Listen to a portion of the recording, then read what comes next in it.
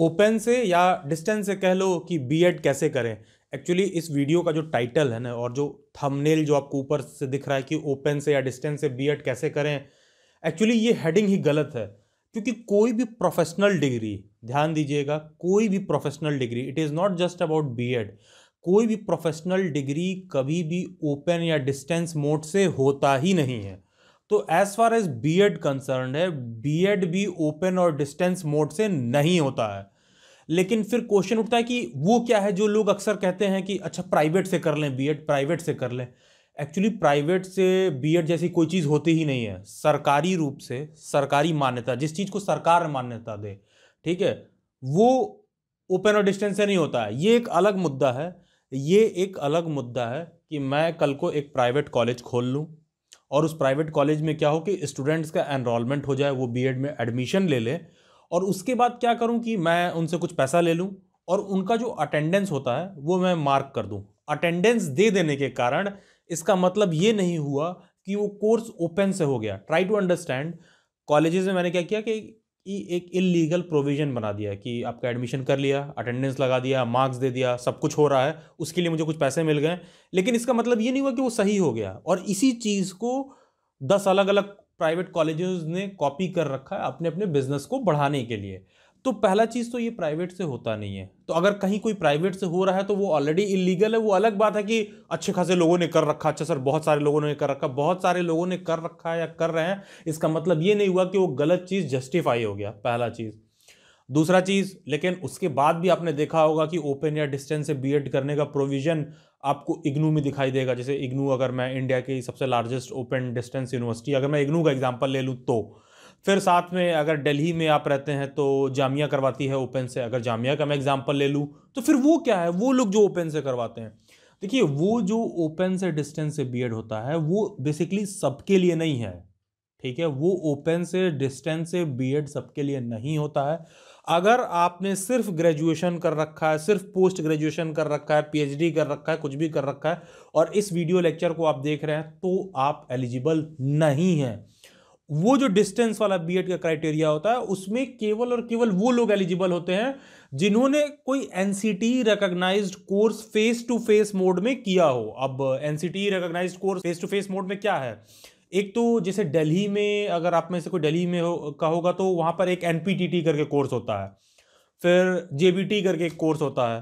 तो इस तरह के जो कोर्सेज होते हैं, और उत्तर प्रदेश में इस कोर्स को हम कहते हैं बीटीसी बाद में उसको हम डीएलएड कहने लगे डिप्लोमा इन एलिमेंट्री एजुकेशन जो क्लास ट्वेल्थ के बाद होता है। तो बहुत सारे इस तरह के बेसिक टीचर ट्रेनिंग वाले कोर्सेज लोगों ने लोगों ने कर रखा होता है फेस टू फेस मोड में।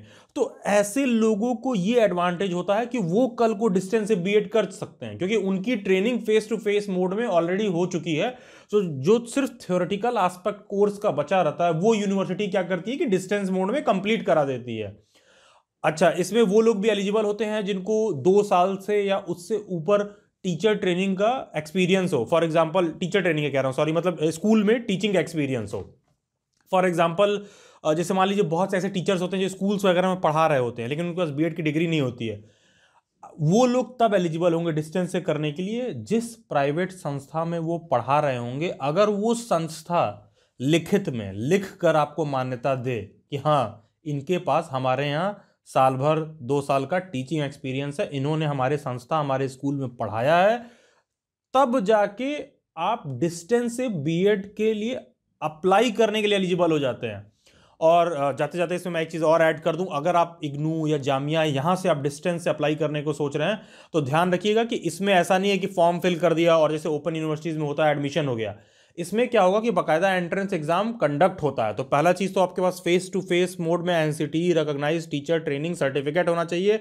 इसका मतलब ये होना चाहिए जेबीटी एनपीटीटी या फिर बीटीसी डीएलएड इस तरह के कोर्सेज आपने पहले ही से कर रखा हो फेस टू फेस मोड में नहीं कर रखा है। तो साल से दो साल का आपके पास कम से कम टीचर का एक्सपीरियंस uh, हो कोई रिटर्न स्कूल आपको लिखित में रिटर्न में आपको दे तब जाके आप डिस्टेंस से अप्लाई करने के लिए एलिजिबल हो जाते हैं। और बाकी का जो लोग कहते हैं प्राइवेट से कर लें, देखिए आई थिंक 2000 से ऊपर स्टूडेंट्स के साथ मैं करियर काउंसलिंग के रिगार्डिंग इंटरेक्ट कर चुका हूँ।